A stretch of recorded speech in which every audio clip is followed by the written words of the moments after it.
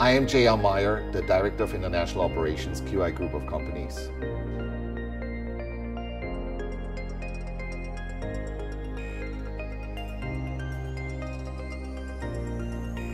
Direct selling is a great equalizer. It is gender neutral, does not discriminate on the basis of age, education, or socioeconomic background. In fact, direct selling truly democratizes opportunity.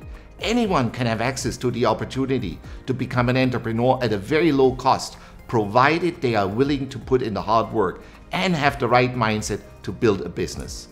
In direct selling and especially in QNet, distributors become part of a larger community we offer distributors a complete support system with mentoring and training to help them grow personally, which in turn helps their business grow financially.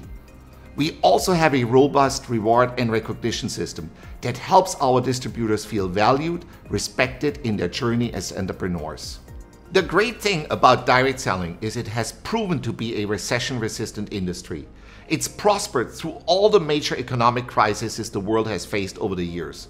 The new age gig economy businesses provide a platform that connects service providers and consumers.